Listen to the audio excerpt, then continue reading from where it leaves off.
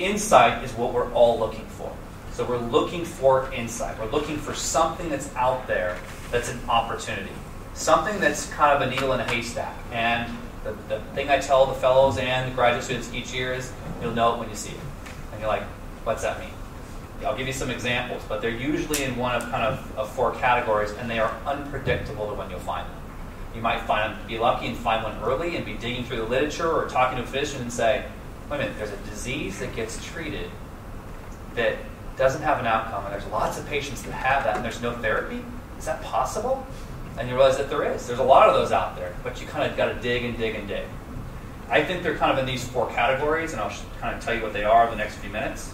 Um, and those categories are a new opportunity or new science. So something that's just come out, someone's got a new fundamental discovery, it creates an opportunity for a new translational technology and ultimately a new business. A new perspective on an old uh, problem. Okay, something that's been done for a long time, and I'm kind of retooling it. A discovery of old science. Okay, something that's been done maybe surgically that I can now do with a catheter, and changes in never events. So this is Neodyne. Neodyne was actually at Jeff Gurtner's lab at Stanford. He's a plastic surgeon. We collaborate a lot with him. He's been a big supporter of biodesign. He is a plastic surgeon that came up with this fundamental work that showed that scar volume is related to mechanical stress. And so this idea in mouse or in humans that the stress and strain is what causes the greater or less strain. And so he thought, maybe I can come up with a new model and I can actually think about a scar widening by stress. So if I create a band-aid that reduces that stress, actually I'll get less scar.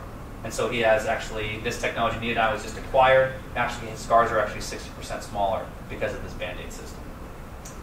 So a new perspective on old problem. This is iRhythm, came out of BioDesign. Okay? So patients with palpitations. If you have kind of an irregular heartbeat and you feel palpitations, you usually go to your general doctor. So what does he do? Your general doctor says, hmm, might be a heart problem. Go to a cardiologist. Cardiologist says, it's electrical. Hmm, I don't do that. Go to electrophysiologist electrophysiologist hooks you up this thing called a Holter monitor. And you got to wear it around for the next two days, three days, four days. Can't take a shower, can't do anything. You just got to sleep in it. It doesn't work. When the leads fall off, the data doesn't work out very well. Okay? And when you're done with it, someone's got to download all that data, process it, and eventually send it back to the electrophysiologist, then the cardiologist, and then the internist eventually calls you. Okay? Broken system.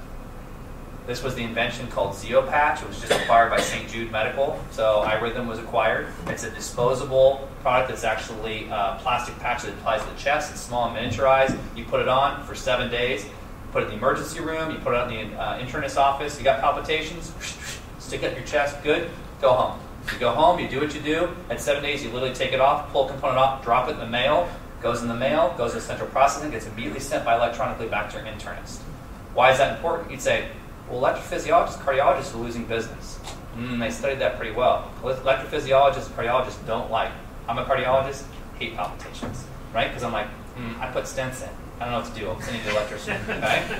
electrician says, I don't know if you have it. Let me hook up this Holter to you. Because what I really want to do is I want to do ablation in the catheter lab, right? Because that's what I like to do, and that's how I get paid. I don't get paid for seeing you with all these machines. It doesn't pay for me. So they came up with a way that satisfied all the stakeholders and cut out all the middle process. And so that's the basis for iRhythm. So let's talk about discovering old science. Sympathetic renal denervation. This was one of the biggest, hottest technologies in the last two years. This is Ardian, came out of Menlo Park, which is about four miles from Palo Alto, where Stanford's based. This is Symplicity. It was a catheter put in the renal artery to burn the nerves, ablate the nerves to reduce blood pressure. Crazy idea, right?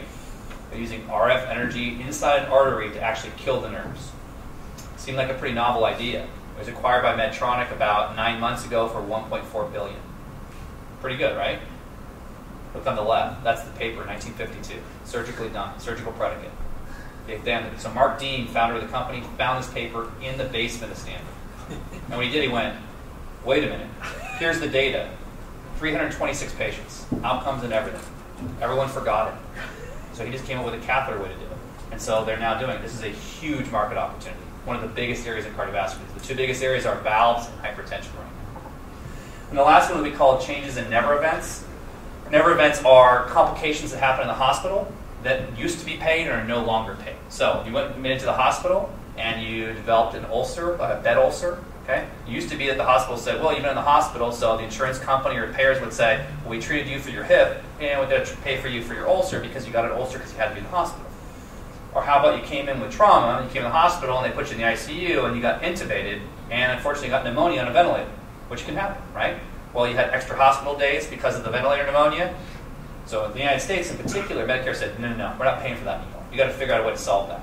So five years ago, the insurance company, the hospitals didn't care, right? They said, well, we don't know how to solve this, right? CMS pays us no matter whether you get the infection or not. So actually, in uh, 2010, for one of the problems, in 2011, they cut off payment. Those are now called never events, which means that the hospital has to find a way to solve the problem because it's considered a hospital-associated complication.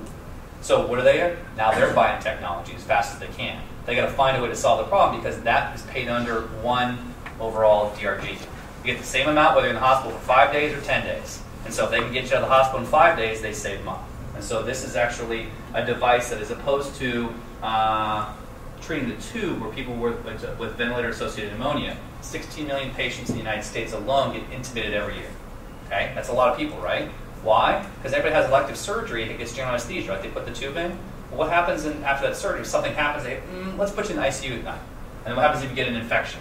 Well, the same tube gets put in. So the same tube gets put in. It costs two bucks. Well, some of the great inventions there, he said, I'll give you a $10 tube, a $40 tube, or a $100 tube. The $100 tube is really good because it's got all these special, it's actually got gold particles on it, it's got anti-inflammatories, it's got drugs, it's going to work really well.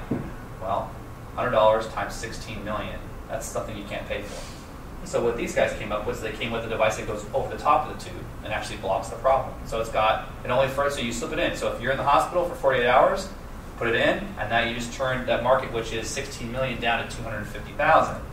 And they get the technology. And they came up with the intellectual property, and they came there. So this is treating never events. These are the opportunities for insight.